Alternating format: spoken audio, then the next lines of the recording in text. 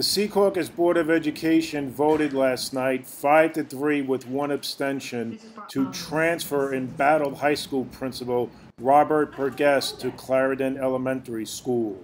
Superintendent of Public Schools Jennifer Montesano tried to assuage the public's concerns about the transfer of Dr. Berckes along with two other principals to different schools. When I make decisions, I do not make them lightly. I think over and over. Sometimes I take too much time to think about how I'm going to make decisions.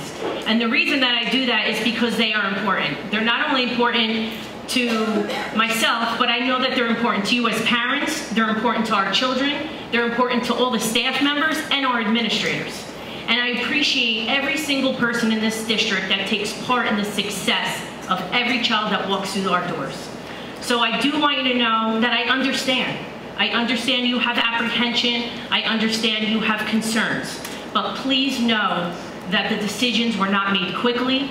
They were, they were made with many discussions with our administrative team. And I will say that their talents will be assets to the buildings that they go to. Board member Louis Gielli was one of the board members who voted no to transfer Dr. Berckes as well as two other principals. Our superintendent has been in the district far too short a time to be in a position to fully evaluate the effectiveness of our principals and request these transfers. My no vote is not a reflection on the abilities and the professionalism of these principals but based on the needless disruption within a district which already has experienced enough this past school year.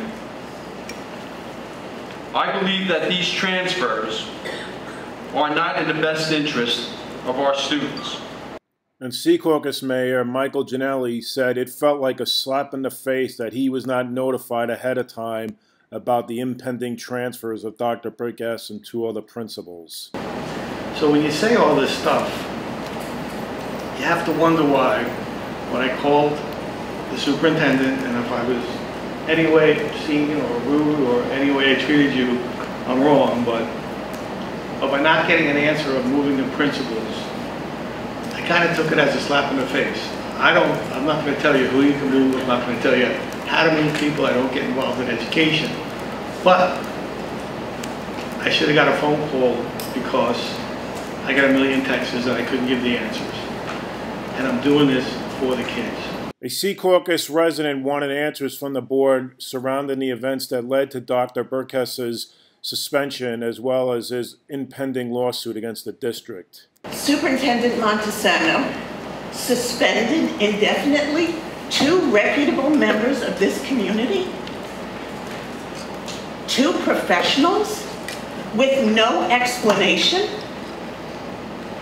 Unbelievable. I want to know how it is that a superintendent who has no experience in supervision on a secondary level, after only six months in this community, um, has indefinitely suspended um, a, a, principal and a, an assistant principal.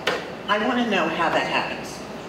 I want to know how this superintendent, having had only three and a half years of experience, in a K through 8 district, Haworth, came in here in, in six months and disrupted this whole community.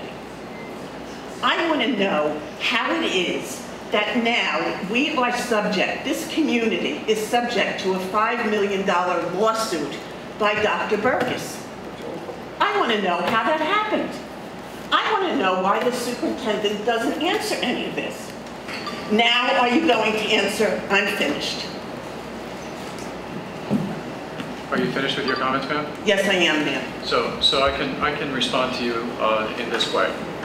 Um, it is often difficult, I'm sure, for you and for other members of the public to appreciate that while you can come up to the podium and members of the public can come up to the podium and speak about individuals with impunity, the board does not have the ability to do that we must respect the we must respect the privacy rights of every employee in this school district.